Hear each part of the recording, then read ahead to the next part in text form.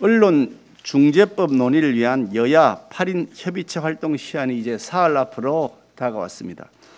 우리 국민의힘은 악의적인 가짜 뉴스로 인한 사회적 피해를 최소화시키기 위해 제도 개선을 해야 한다는 점에 대하여 공감합니다.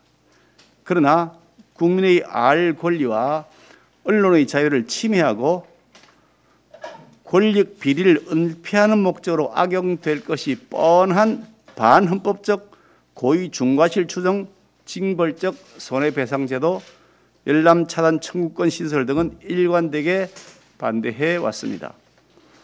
민주당이 추진하려는 것은 반헌법적 언론 재갈법이기 때문입니다.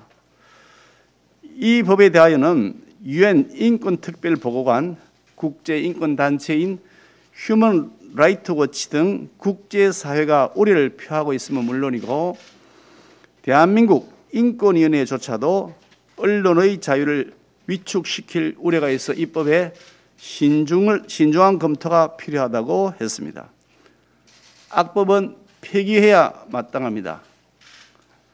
그럼에도 불구하고 민주당은 악법을 끝내 고집하면서 오히려 더 위헌적인 내용의 수정안을 제시하고 있습니다.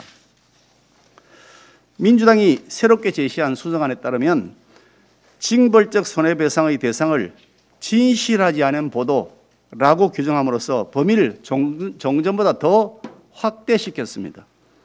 또 입증 책임도 여전히 언론 쪽에 전환시켜 놓은 채 언론 등이 고의 중과실이 없음을 입증하는 것으로 하여 두고 있기 때문에 고의 중과실의 추정 조항은 문구만 달리하였을 뿐이지 그대로 살아있는 것을 수정안이라고 내어놓고 있는 것입니다.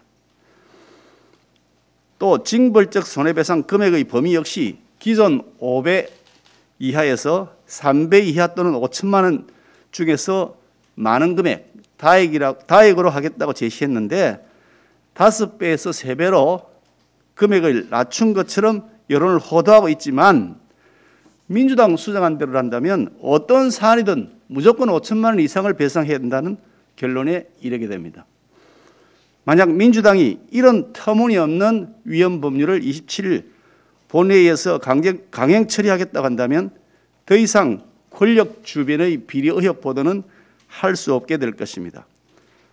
비근한 예를 들어 민주당 이재명 후보의 경우만 보더라도 이재명 판교 대장동 게이트 의혹과 관련해서 진실 규명에 협조하기는커녕 가짜 뉴스 프레임을 씌워서 특정 언론을 공격하고 있는 것이 이 후보의 태도입니다.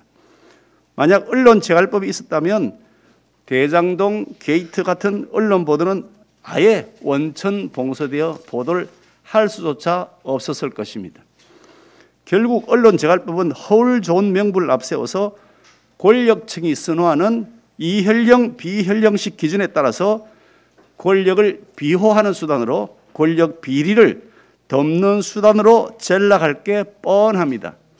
민주당은 이제라도 악법을 전면 폐기하고 가짜뉴스 피해 구제를 위한 합리적 대안 마련에 협조해야 할 것입니다.